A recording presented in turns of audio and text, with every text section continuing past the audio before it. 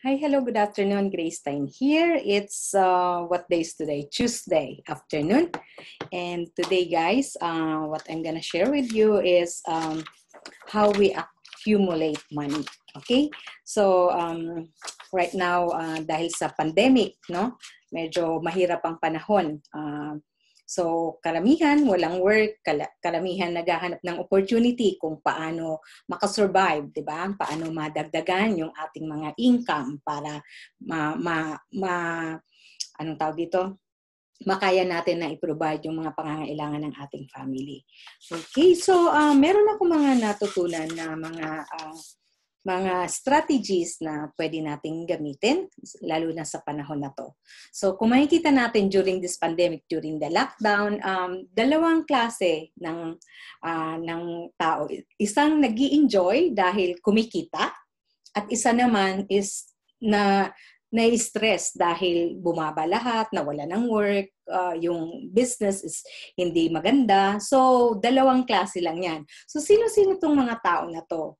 So yung isa is ang grupo ng mga tao na nakakakita ng opportunity. At nakakakita ng opportunity at ready sila. Meron silang tinatawag na opportunity fund. No? At isa naman, yung hindi nakakakita ng opportunity. So, once na na-down sila, nawala ng work, lahat na na-down. Lahat na, kumbaga, gumuho yung, ano, yung mundo. No?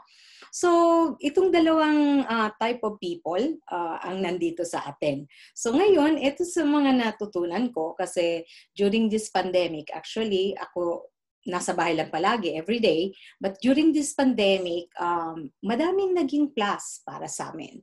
Um, unang-una yung uh, sa investment, tumaas. Itong opportunity, dumating. So may mga may mga products or na naging mura, no? So, dahil naging mura, nagkaroon tayo ng opportunity na mabili ito ng mura at mabenta natin ng mura din, pero may kita tayo, nakatulong pa tayo sa tao. At yung mga investment na nilagay namin nung matagal ng panahon is nag-grow. So, ikwento ko sa inyo later on kung ano-ano yung mga ginawa namin para ma-share ko rin na siguro mga katulong din sa iba. Okay, so um, sabi naman dito ni ano ni ni Tony Robbins, no? So ito yung mga natutunan ko kanina na pinanood ko na gusto kong i-share sa inyo. Sabi niya dito, uh, not only making money but creating helping people. So isa pala yon na way para tayo is maka-accumulate ng money. So sabi, ba't naman helping people makaka-accumulate ka ng money? So in in the Bible din nakalagay the start of receiving is giving. So, umpisa, magigib muna tayo. Di sasabihin nyo naman, ah, paano ngayon? Wala naman tayong igigib. Paano tayo magigib? So, um, anything you can do every day na maiga, maibibigay natin, pwede nating ibigay sa tao, hindi man money, no? Kasi ngayong pandemic, ang dami nating oras. We are so free, a lot of time, kasi wala nga tayong work, di ba? So dahil sa marami tayong oras, ano ang pwede nating ibigay? Ano ang pwede nating i-give sa tao na makakatulong sa kanila? Kasi during this time, ang naiisip lang natin, wala akong perang pambigay. No? Kasi pandemic ngayon, mahirap kami, walang pambigay. So ano yung mga things or bagay-bagay or anything na valuable na pwede nating ibigay? So hindi po siya yung ano, yung material, no? So pwede tayong magbigay ng tulong, no? Ng advices or something na pwede nating ibigay kasi ang first step ng receiving is giving. So magbibigay muna tayo. Isipin natin sa marketplace, 'di ba? Kapag ka nagtinda ka, may dala kang isda, ibebenta mo, saka ka lang babayaran ng pera. Wala namang nauna yung pera kaysa sa ano, 'di ba? Dapat meron kang product, meron kang value sa marketplace bago yung pera lalapit sa iyo. Kasi isipin mo, ay wala nang income. Walang income kasi walang value, walang value na ibibigay tayo sa marketplace. So ano yung value na maibibigay natin bago tayo makaka-receive? So yon. So uh, creating being creative, creating uh, something that can help other people. So be creative, sabi nga ni Tony Robbins, not only making money but creating uh, things to be able to help others. Creating um, idea na makakatulong sa iba kung wala tayong cash na mabibigay. Then, compound of interest, sabi. So, yung, uh, yung money pumapasok sa atin dahil doon sa unti-unti, paunti-unting naiipon na nag-multiply, naiipon, nag-multiply, at dumadami. 'di ba? So karamihan sa atin ay kunti lang naman ang kinikita diyan, ayoko. So kung hindi mag-uumpisa sa kunti, hindi yan dadami. So yun pala 'yon. So mag-uumpisa sa konti. Ano ba yung konti na meron ka ngayon na pwede mong i-leverage? Leverage. Ah, wala akong pangpuhunan. So ano ba yung meron ka ngayon or nasa resources, may resources or nasa palibot mo, kung wala man sa palibot mo, you will be resourceful. Hahanapin mo. Maging resourceful kasi hindi naman tayo nag-iisa sa mundo. Marami naman tayong friends, di ba? So ano yung mga resources or be resourceful para makita natin na magkaroon tayo. Especially now, ang daming opportunity. Isa yung being entrepreneur, di ba? So, sabihin natin, ay wala akong pampuhunan. So, ngayon, ang dami. Itong mga networking, isa yan. Teaching, isa yan. So, kung wala tayong maituturo, pwede tayong mag-networking. So, yung networking, hindi po yan kailangan ng ang daming mong pera. Sabihin natin mag-uumpisa sa meron. O pwede rin mag-umpisa, tulungan muna natin yung kaibigan natin na nag-network. Di ba? Pwede nating i-promote siya. Pag may bumili, di bibigyan niya tayo. Di maiipon natin yun, onti, pa, konti then i-promote natin ang i-promote, then pwede tayong maka-accumulate ng pera, pwede na rin tayong bumili ng sarili natin. Then meron na rin tayong sariling business, distributor na rin tayo, or associate na rin tayo. Di ba? So yung compound of interest. So ikukwento ko sa inyo about this compound of interest. Nung unang-una, nung pumunta ako ng Japan, walang, syempre nag-start ako, walang pera, di ba? Then, umuwi ako sa Philippines. So meron akong nad- nadalang salary. So ang unang-unang ginawa ng nanay ko, yung only only money na lang na natitira sa akin, ibinili namin ng lupa. So yung binili namin ng lupa, di naubusan ako ng pera. Siyempre, naubusan na kasi binili na nga namin ng lupa. So naghanap ako ng way para makabalik uli sa Japan. So yung lupang yun, binili namin ng 50,000. No? 50,000 pesos. So 100 square meter. Ngayon, hindi matagal siya na hindi na ilang buwan siguro, hindi nakuha yung titulo kaagad.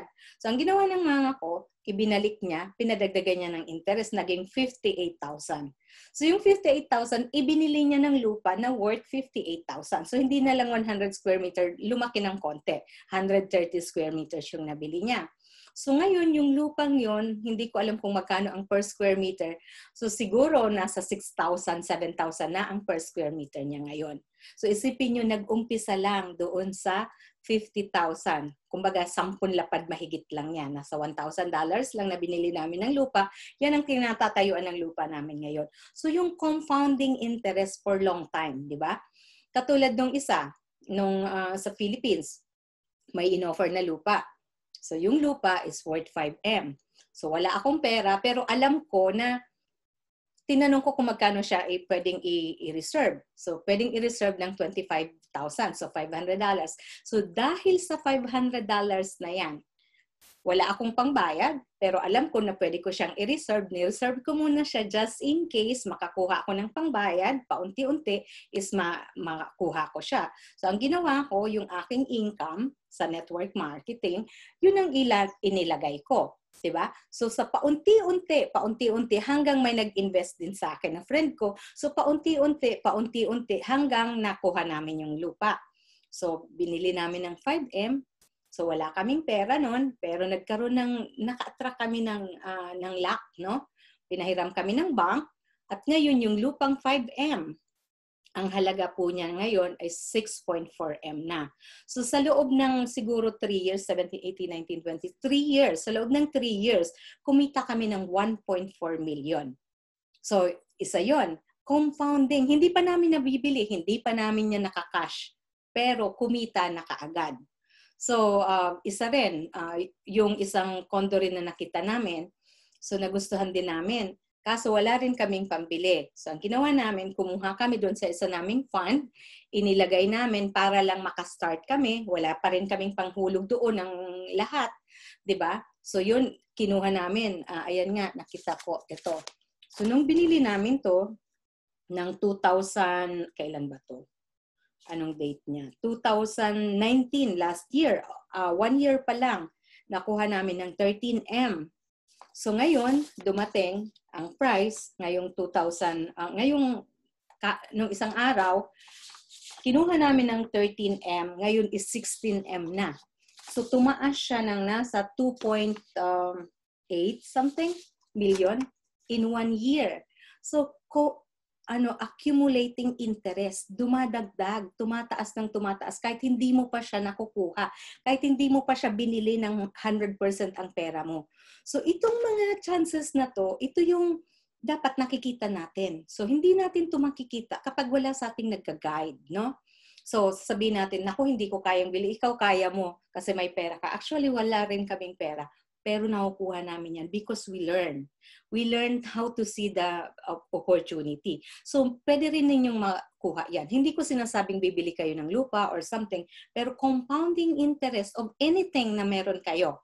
Okay? So, pwede yan money, pwede yan, uh, pwede yan yung uh, mga resources nyo lang. Kasi ako noon, may namit akong client, isang uh, isang general, no? Tapos nagkaroon ng may isang nangangailangan na ipamit doon sa general. Alam mo na utusan lang ako. Isang one time lang pumunta ako doon. So siguro hindi ko pa nga na-meet yung general. Kumita ako ng 20k dahil lang doon sa inintroduce ko lang. Inintroduce dahil lang sa mga ganung bagay, magkakaroon tayo ng interest through through sa ating mga resources, no? Hindi lang money ang resources, maraming resources kung tayo ang magiging resourceful. So compound of interest. Tapos ang isa, halimbawa meron man tayong pera, saan natin ilalagay?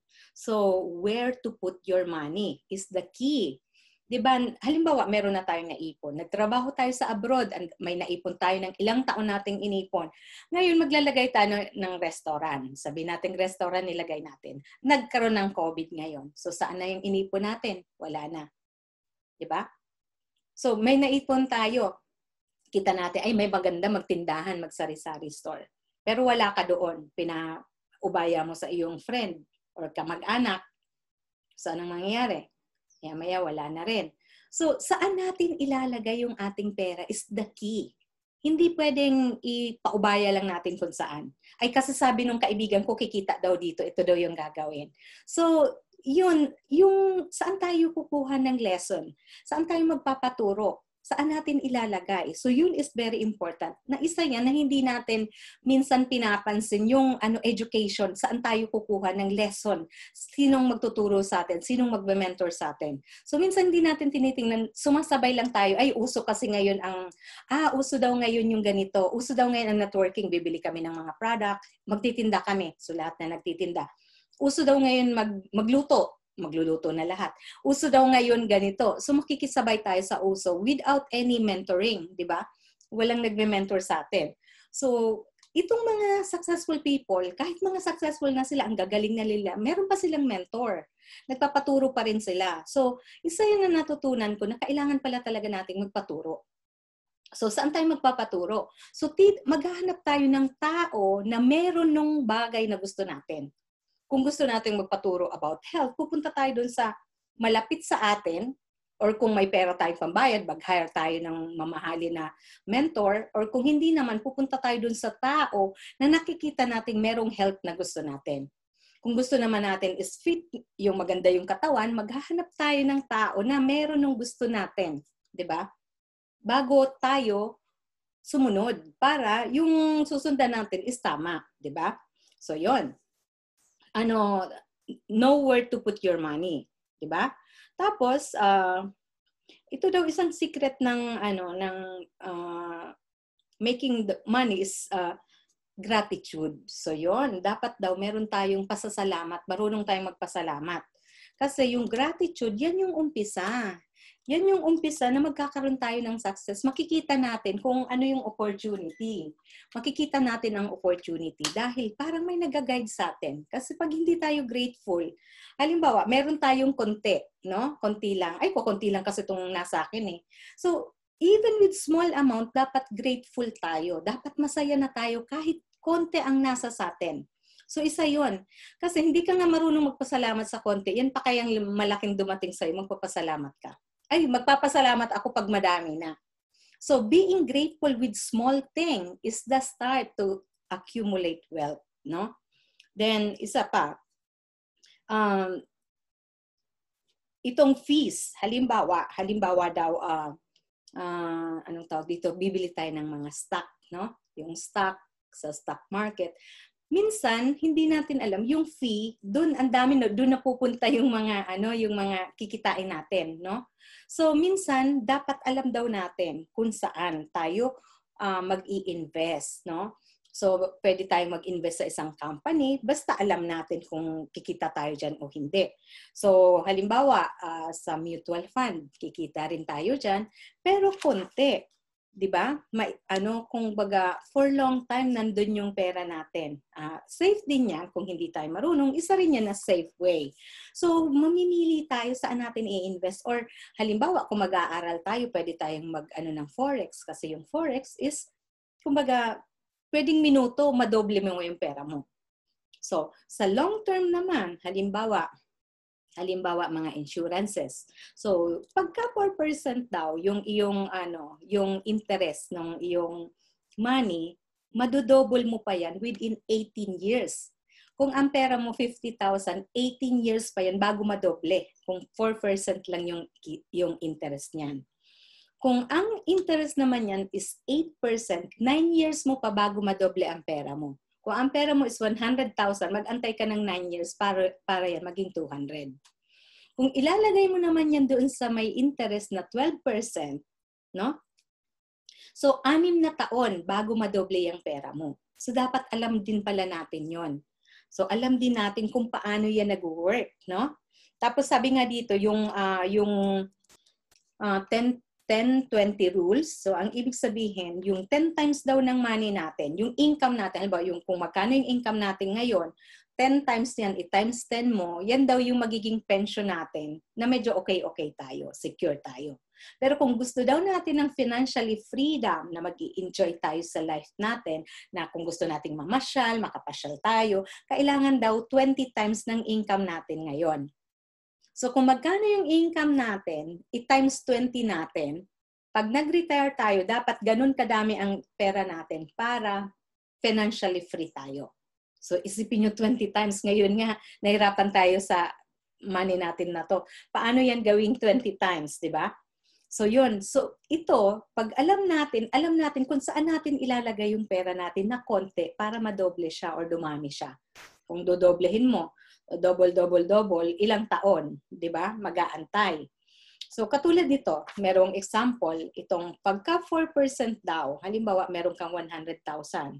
Yung 100,000 mo, pagdating mo ng halimbawa uh, 18 years, 18 years, halimbawa 29 years old ka, 100,000 yung pera mo. Pagdating mo ng 47 years old, magiging 200,000 na yan.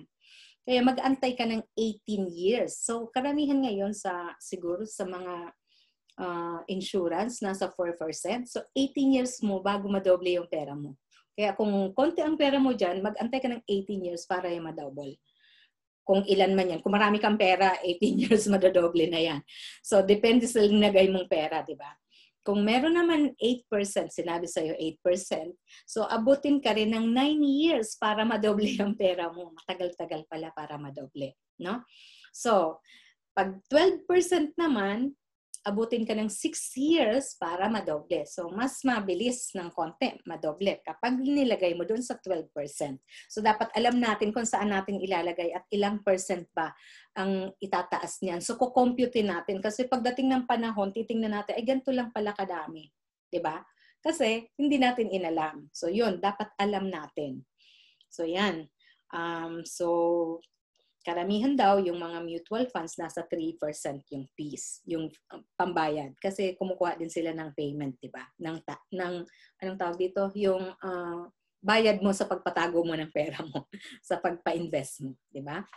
Okay, so, at saka meron tong ano, know how to take advantage of the system. Sabi, dapat alam pala natin kung paano gamitin yung system. So ano mang system yung ginagamit natin? Halimbawa, nagpapatago tayo ng pera natin sa bangko or nilagay natin sa, uh, sabihin natin sa time deposit or halimbawa nagne-network marketing tayo, yung kita natin, paano natin yan ginagamit, 'di ba? Ako ang isang technique na ginagamit ko, ginagawa ko, halimbawa dito sa network marketing. So may kita ako, no? So yung income ko, kapag i-transfer ko yan sa bank, halimbawa income to the bank, so every time na ita-transfer siya, meron siyang fee. Meron siyang dollar to peso, no? Or dollar to yen. So na-charge siya. So ang ginagawa ko, hindi ko siya tina-transfer. So ang ginagawa ko, ibinibili ko siya ng product. Pag binili mo siya ng product, hindi ka nababawasan ng transfer fee ng uh, dollar to peso, dollar to yen, hindi ka nababawasan. Ngayon, yung product na yun ang binebenta ko. The once na nabenta ko yung product, ang babalik sa akin is cash, di ba? So once na cash bumalik sa akin, hindi na ako madideduct ng tax kasi cash na nga dumating. So kapag papasok sa bank mo, halimbawa pumasok, syempre babawasan yan. Kung madami na, syempre papasok talaga. Kailangan nang ipasok, eh, hindi naman natin mabili lahat ng product. Pag konti pa lang, ang ginagawa ko, hindi ko na siya kaagad nilalagay sa bank. Kasi ibibili ko rin naman. So, ang gagawin ko, ibibili ko na siya ng product at i-deliver ko siya dun sa mga nag-order sa akin. Then, cash ko siyang nire-receive. So, yun, sa fee, sa transfer fee, yung uh, yung money transfer, di ba, may bayad. So, nakakatipid na rin ako doon. Then, ang isa kong ginagawa is, kapag alam niyo yung system, titingnan niyo yung inyong, halimbawa, kung nagne-network kayo, katulad dito sa amin sa networking, tinitingnan ko yung system. Tinitingnan ko, ah, ngayon mura ngayon. Ngayon may points ngayon. Malaki yung points na magagamit ko ngayon. So, we can make money by points. So, yung time na yon, doon ko ilalabas yung aking ano, yung aking tinatagong pang opportunity fund dahil dun sa points. At saka halimbawa may dalawang free. So, syempre, pwede ko na siyang ibenta ng medyo mura-mura kasi meron na akong dalawang free. So, dun palang kita na ako. So, dun ako bumibili sa mga opportunity na yon. Then, sinusundan ko yung dapat kong gawin na every month dapat meron ako para yung mga naiipong compounds is magagamit ko later. So, dapat marunong tayo sa system. Kung nasaan tayo, anong sistema, anong business ang ginagawa natin, dapat yung system na yun is alam natin. Kasi yung fee, dyan sa mga system natin, yung mga taxes na kinukuha is malaki. Tapos yung mga fee na yon, syempre, kung pwede mo pa yung paikutin yung pera mo. So ako, I usually, pinapaikot ko yung pera ko. So halimbawa, nag, uh, nag-invest ako sa isang, halimbawa sa insurance, no? So maglalagay ka ng pera mo sa insurance. Then after a while, yung part ng investment doon, so 5 years, 6 years, or 7 years, yung part ng investment noon, kukunin ko na. Kasi minsan, halimbawa sa insurance, 4% lang yung kikitain. So yung pera kong yun, ililipat ko siya sa ibang investment. So once na nilipat ko siya sa ibang investment, dumadami siya. Kasi mas malaki yung, ano, yung, yung anong tawag, interest na nakukuha ko doon. So halimbawa, insured ka na, plus yung pera mo, inilagay mo pa doon sa isang investment. So papaikutin mo siya. So dapat meron sa ating nagtuturo ng ganon. Then, sabi dito, uh, take advantage of the system and have emotional fitness. So yung emotional fitness na sinasabi, hindi yan yung emotional intelligence. Of course, emotionally intelligence na tayo, but emotional fitness, ibig sabihin, kung may time man na mag-down, halimbawa, nag-invest ka, kasi wala namang 100% yung investment, halimbawa, nag-invest ka sa isang bagay, no? Tapos nag-down, halimbawa, bumaba yung price, katulad ng pandemic, halimbawa, yung stock na binili mo bumaba. So, dapat strong yung emotion mo. strong ka no? Kasi kung hindi ka strong, madadown ka dyan eh pag nalugi ka. So dapat, alam mo, ano yung next step na gagawin ko? Dapat ready tayo for the next step uh, kung ano man ang nangyari sa ating business, no? So, dapat meron, ano tayo, very strong, very ready tayo dyan sa mga ganyang dumarating. Kasi pag hindi, madadown tayo. At saka hindi lang yung emotionally fitness, no? Hindi lang yung emotion natin, but yung body din natin. Kasi karamihan na nagkakasakit, actually, hindi naman nagkasakit ng dahil sa mahina yung katawan nila. Nagkasakit dahil sa emotion. So once na yung emotion natin na down, ang sunod na mangyayari, yung katawan natin is madadown. Kasi nandito yan sa ating head. Sabi nga, if you want to be happy, your mind should be happy. No? So yung mind natin dapat so strong, dapat pina-feed din natin yung mind natin, binibigyan natin ng vitamins tayo, nagba-vitamins tayo, nilalagay natin sa mukha natin, sa skin, para maputi, kuminis. Pero hindi natin iniisip yung loob ng katawan natin. So, dapat yung katawan natin is healthy. So, if feed natin ng mga vitamins, ng mga minerals, ng mga kailangan ng katawan natin, yung immune system natin strong, at saka hindi lang yun, hindi lang pala yung body natin yung kailangan natin, kundi yung mind. So, ano yung mga vitamins na kailangan ng ating mind? So, yan pala dapat, finifeed din natin. So, isa rin pala yan na way para maka-accumulate ka ng money. Kasi pag mahina yung pag-iisip, mahina yung hindi mo na kwenta kaagad yung kukwentahin mo, nalugi ka na. So, yung mind pala, dapat, yan ang pinaka-importante. Kasi it, yung mind yung nag, uh, nagdi-decide, di ba? At saka yung emotion natin. Yung mind at saka emotion dapat is magka ano, magka synchronize dapat pala. At saka yung katawan natin, mind and emotion nga synchronize, kaya lang may sakit ka naman, ang hina ka. May masakit yung katawan mo, hindi na rin magagana ng maayos. Dapat pala yan is synchronized. Kaya lalo kang magiging active, no? Then, uh, anong tawag dito? Uh, faith untested become smaller. So yung faith pala natin, yung faith natin, yung paniniwala natin, kapag small, pagka hindi tayo, ano, hindi natin natitest masyado yung ating faith, yung paniniwala natin, lumiliit. So, pag mahina ang paniniwala mo, anong mangyayari? Madadown ka. Hindi mo makikita yung mga opportunity dumarating. Hindi mo na kwenta ng maayos. Nag-okay ka na, hindi pala tama yung computation nun. So, yon So, dapat daw, uh, when things are bad, must know the opportunity and take it. Katulad dito, when things are bad, ngayon may pandemic, isipin palagi natin ang opportunities nandito. So pagdating ng ganitong panahon, ay wala kasi akong pera eh. Eh ganito kasi. So hindi mo ginagrab yung opportunity na yung opportunity ngayon, yun yung mura. No? So kung ngayon ka nag-start, kung ngayon grinab mo yung opportunity, later on mahal na yan, nakuha mo na siya ng mura. So madaming mga opportunity ngayon na down, binababaan nila ang price dahil nga karamihan walang tao ay walang walang pera yung mga tao, no? So, yung opportunity na yun dumarating. Katulad yung sa amin, one time, during this pandemic, may tumawag ng tumawag, pinapahiram kami ng pera sa bank. Ano, ano, mag-utang daw kami. So, hindi namin kailangan, sabi namin. Tapos sabi nila, ay, ano kaya gamitin natin? So, pina-assist na, pina, pina-check namin yung ano, isa naming property. Nakita namin na, nakita nila, na nalaman namin na mas mataas na pala yung, ano, yung yung value. So ngayon, before nag-pandemic, pinahiram kami ng pera. So dahil sa pinahiram kami ng pera, nai-invest na naman namin yung perang yon. Eh kung ngayon na may pandemic, siguro may hirapan kaming manghiram sa bank, no? So, yung mga ganong opportunity, dapat pala nakikita natin. So, pag mag-isa lang tayo, medyo mahirap, di ba? Kaya kami, kaming dalawa ng asawa ko, nag-ano kami, nag-uusap kami, o eto may ganitong opportunity, ano sa tingin mo? eh medyo di, ano yata. So nag ah, ano kaming dalawa, kung medyo mahina yung isa, pinupush ko. Ma- medyo mahina ako, pupush niya ako. So kailangan natin ng ganun. Meron tayong ano, may nagtutulungan. So kung wala kang ganyan, maghahanap ka ng magtutulong sa iyo, no? 'Yon. Then of course yung mga lesson, uh, dapat nagte-take tayo ng mga lesson or nagkukuha tayo ng sarili nating mentor. So 'yon. So be grateful whatever you have uh, and you will see the opportunity and you will take action. Kapag grateful tayo, ginaguide pala tayo ng ating God, di ba? Ng ating Creator, i-guide niya tayo. Kapag nagpapasalamat tayo sa kunting bagay, hindi tayo nakokontento, hindi tayo natutuwa sa konti, hindi niya tayo bibigyan ng madami. Kasi yung konti nga, hindi mo nga mapasalamatan. 'Diba? So mag-umpisa, magkaroon ka man ng isang pirasong bread na mas pasalamat ka, bibigyan ka pa kasi matutuwa yung nagbibigay sa'yo.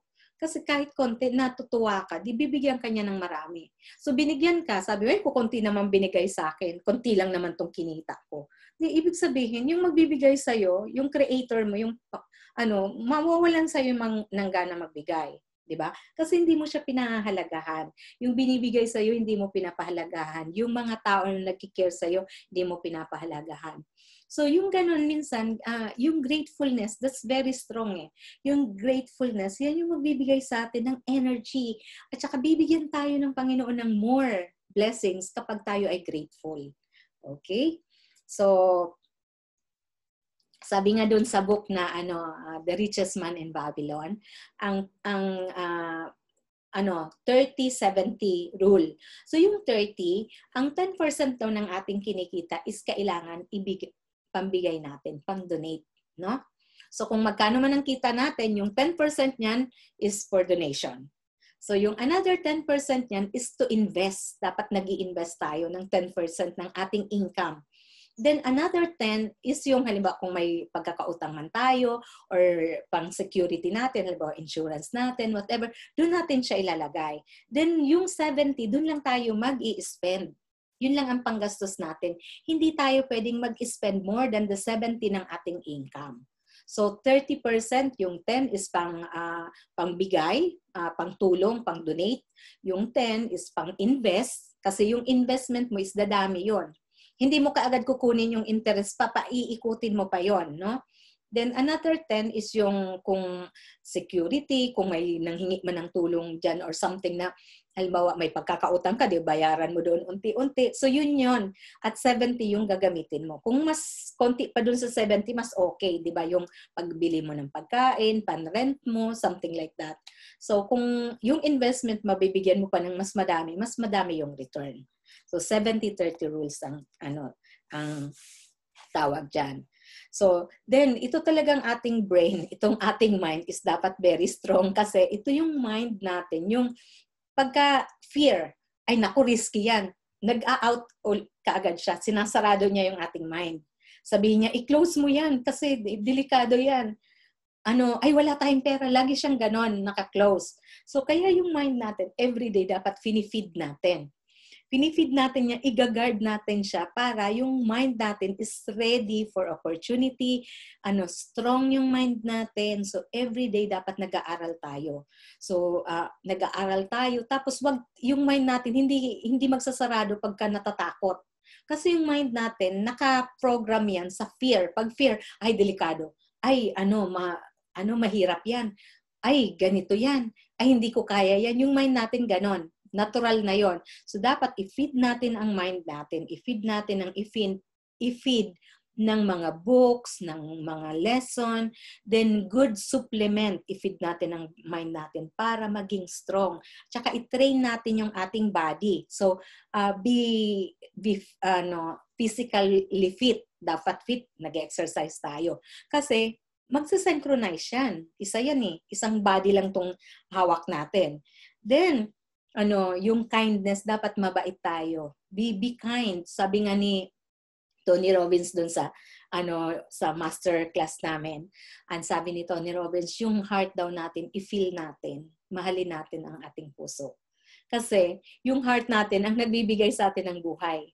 Kapag yung heart natin hindi gumana, wala nang mangyayari sa atin. So yung heart daw natin, ano, alagaan natin. So, i-feed din natin yung ating heart with gratitude, with kindness, di ba?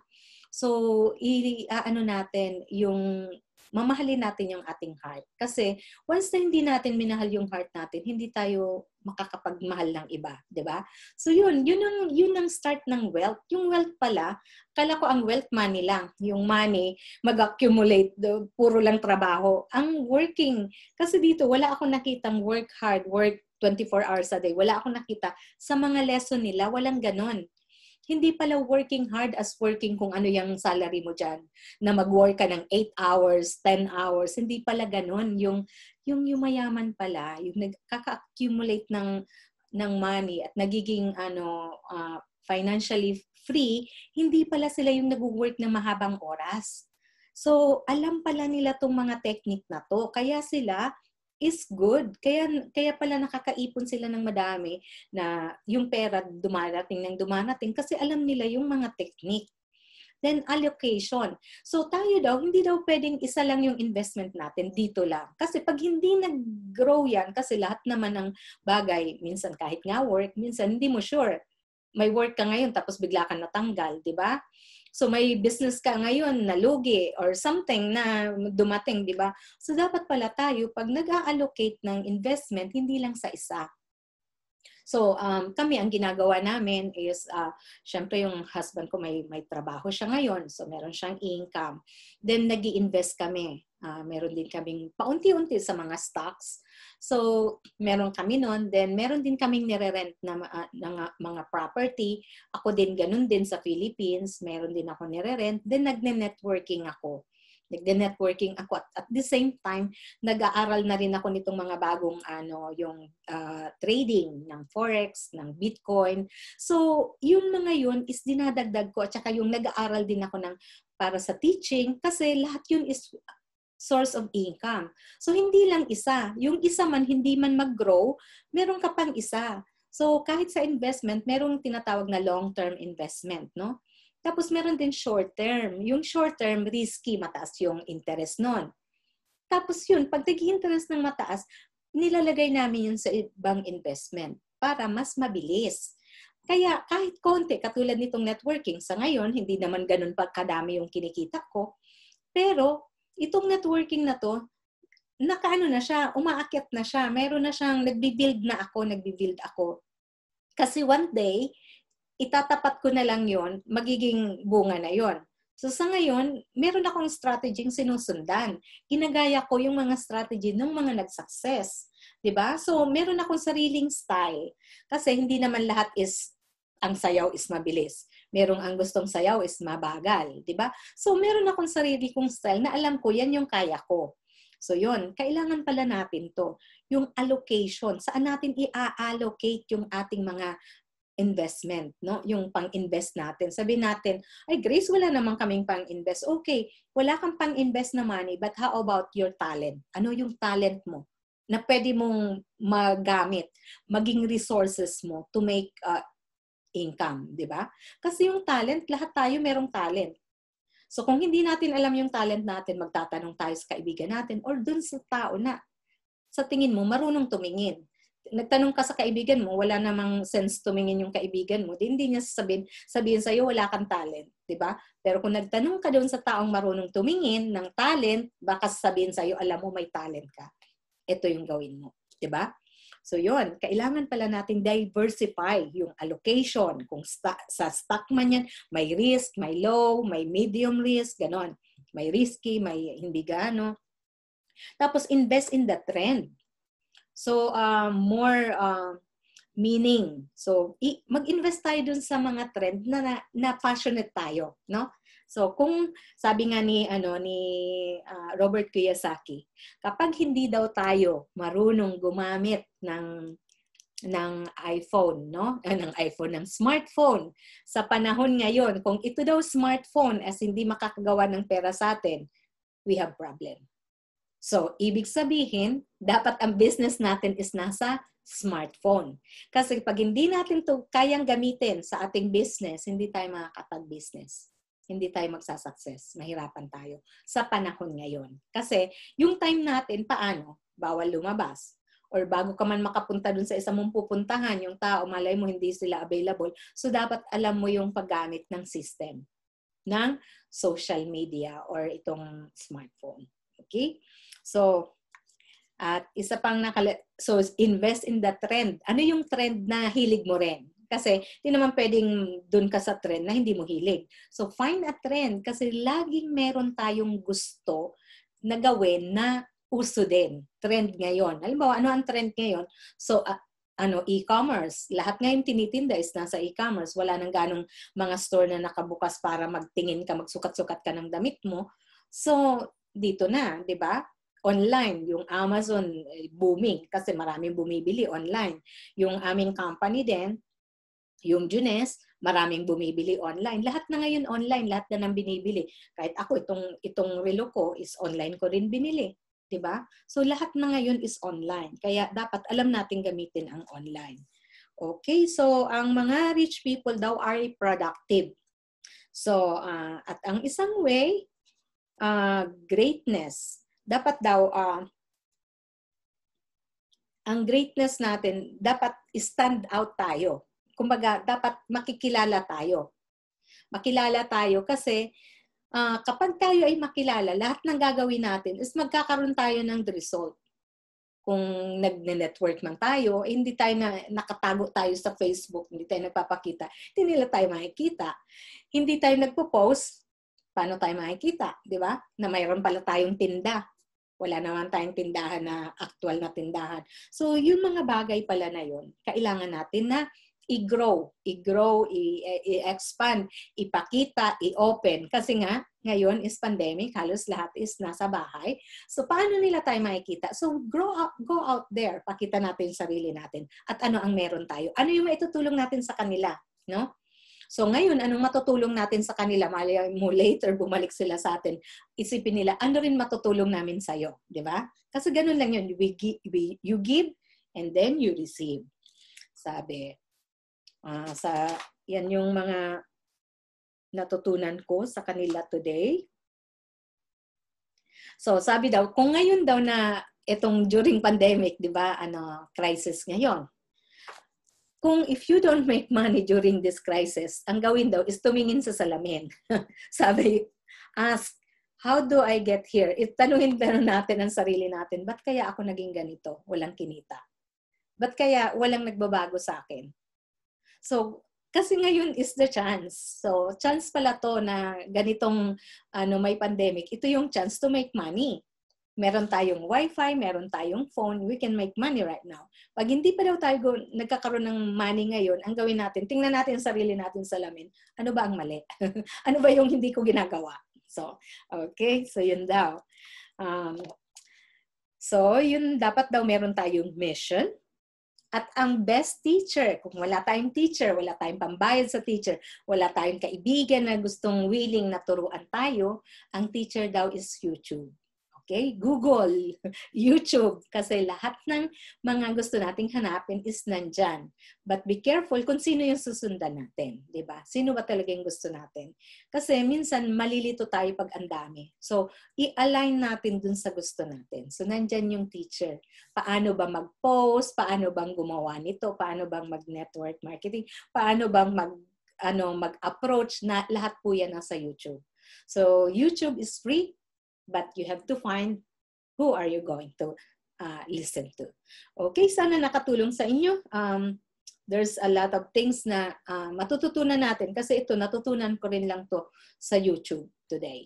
Kaya shinare ko sa inyo, sabi ko, ah, Tagalogin ko nga. Kasi yung English, mahirapan pa ako mag-English. Okay, sana nakatulong sa inyo guys at this is the time, this is the opportunity, at lahat po ng opportunity at na, ay nandyan, so hindi natin kailangan pagurin ang sarili natin para mag-work ng 24 hours a day para kumita. Kasi meron po palang mga strategy. Okay po, sana nakatulong sa inyo. Grace Time here and I'll see you on my next video.